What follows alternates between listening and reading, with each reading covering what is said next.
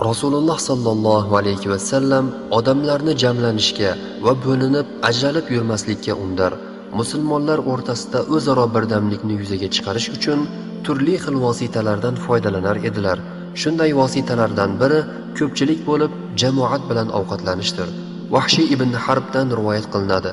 Nabiy sollallohu alayhi vasallamning sahobalari u kishiga ey rasululloh biz ovqatlanamizu lekin to'ymaymiz deyishdi. U kishi ehtimol sizlar bo'linib olsanglar yakka yakka ovqatlansanglar kerak deb so'radilar. Ular ha deyishdi.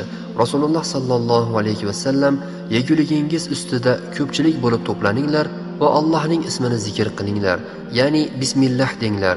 Yeguligingizda baraka beriladi dedilar ibn mojja rivoyati. Rasululloh sollallohu alayhi vasallam ovqatda baraka hosil bo'lishi uchun ikkita shartni aytib o'tdilar. Ko'pchilik bo'lib bir joyda yig'ilib ovqatlanish va yeyishdan oldin allohning ismini zikr qilish boshqa tomondan olib qaraganda baraka yegulik va uning inson badaniga ta'siri bilangina cheklanmaydi. Aksincha jamoat bo'lib ovqatlanganda hamma bir joyga to'planib yuzma yuz ko'rishib turgani uchun oilaviy qarindosh urug'chilik do'st birodarlik munosabatlarining yaxshilanishida ham baraka bo'ladi.